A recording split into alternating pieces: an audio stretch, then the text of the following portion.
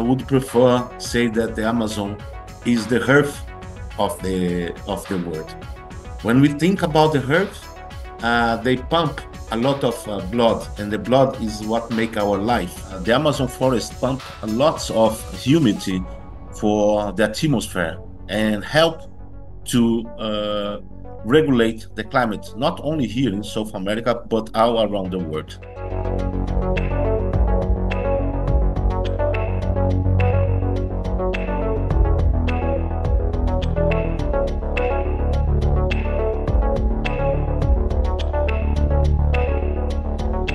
It's the place that we have the most uh, and they have the more kind of lives living there. It means we are talking about trees, animals, plants, and different type of organisms. A part of these, uh, there are more than 300 different indigenous groups living there, and uh, and there are relates of uh, more than 100 groups that are isolated or in self-isolation from the from the from the society.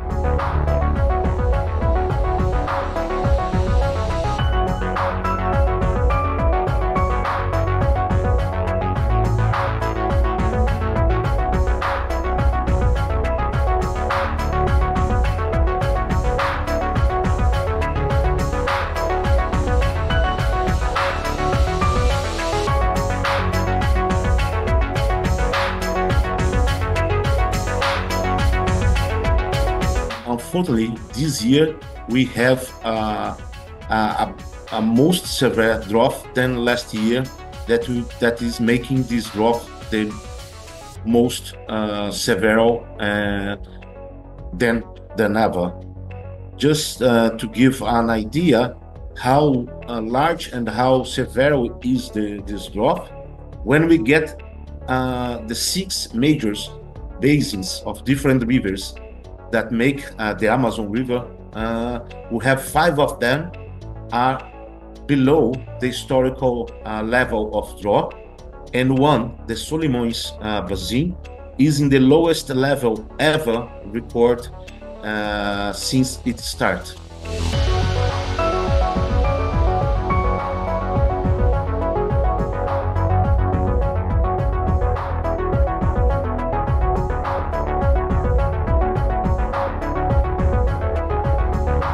Greenpeace make a, a pacific protest in the draw uh, Solimões River to bring attention of those that are responsible for all the climate crisis that we are living, not only here in Brazil, in the Amazon, but all around the world.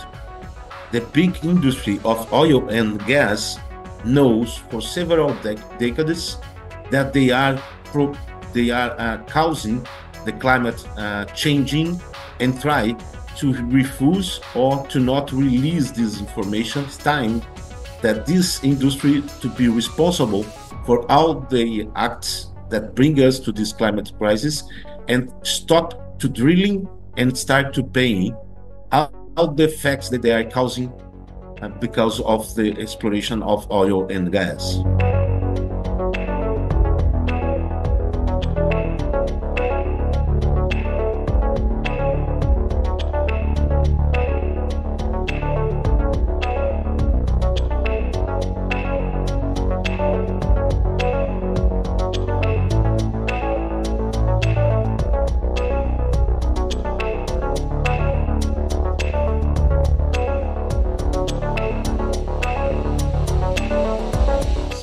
We have a huge mortality of fishes and uh, and aquatic mammals uh, last year and these years. They will take a very long to the recovery of these animals. We have to know that the rivers in the Amazon are the life of the people. These people use the water for of the rivers for everything, to drink, to cook, to make the day by day uh, activities and they are the roads and the streets of the Amazon. Without uh, the rivers, with the rivers very dry, this affect the access of the people for, for the communities to the city.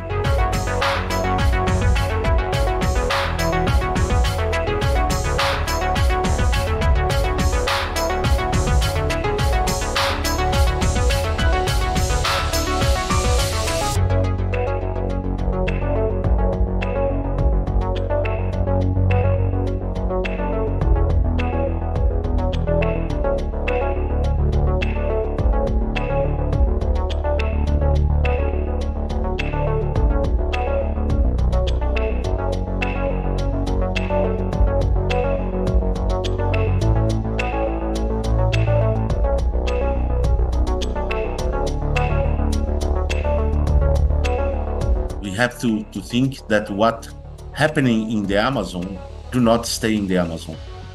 The climate do not see frontiers, do not see barriers.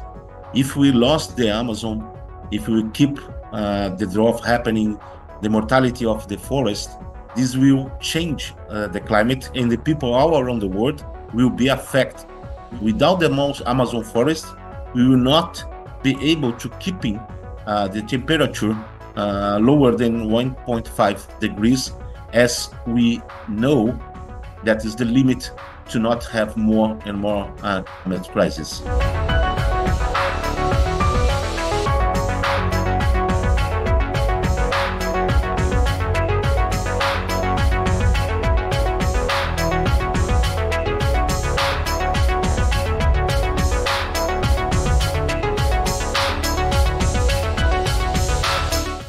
First of all, uh, we have to mobilize ourselves and asking for our uh, government to uh, abound the incentives of the drilling uh, of oil and gas and start to push that the companies have uh, to pay for all the crisis climate that they are doing.